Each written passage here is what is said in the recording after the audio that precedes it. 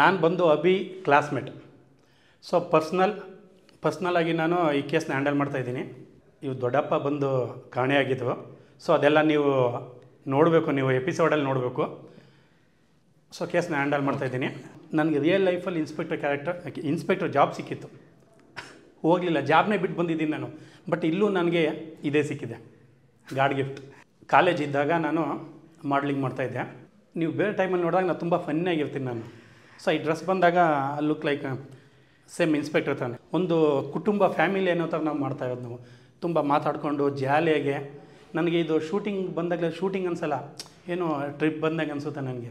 ತುಂಬ ಎಂಜಾಯ್ ಮಾಡ್ಕೊಂಡು, ನೀವೇ ನೋಡ್ತಾ ಇದ್ದೀರ ಮಾರ್ನಿಂಗಿಂದ ಎಷ್ಟು ಖುಷಿಯಿಂದ ಮಾಡ್ತಾಯಿದ್ದೀವಿ ನಾವು. ಇದು ತುಂಬ ದೊಡ್ಡ ಮಟ್ಟದಲ್ಲಿ ಮುಟ್ತಾ ಇದೆ.